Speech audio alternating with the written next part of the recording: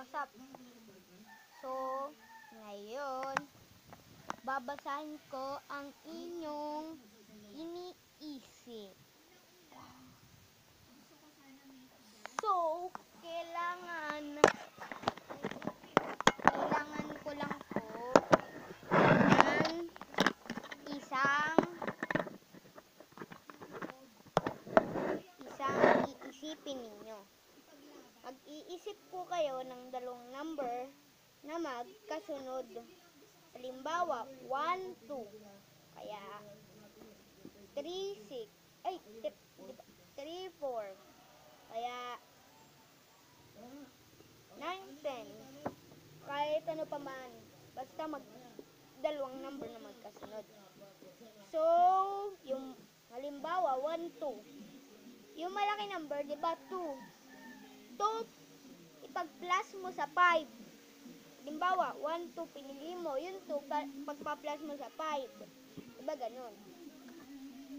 So, kung na-plus nyo na, yung maliit na number, i-minus mo doon sa pinag-plus mong number.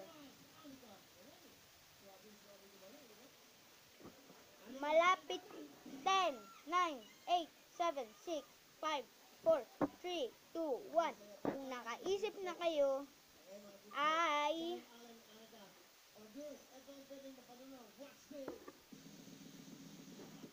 alam ko po ang sagot. Um, mind read.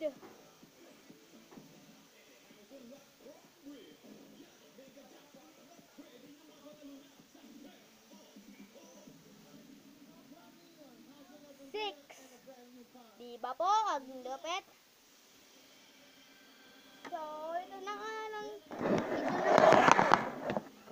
Ito na po? Kung nakaisip na kayo, yung malaki number pag plus sa 7.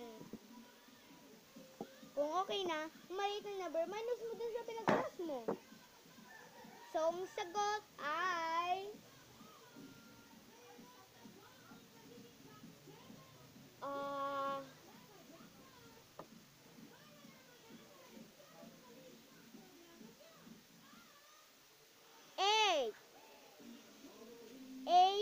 sagot.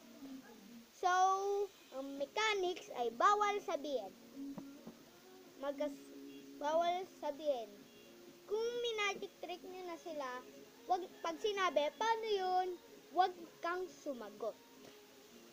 Thanks for watching guys. Next vlog na po ang mechanics. Bye!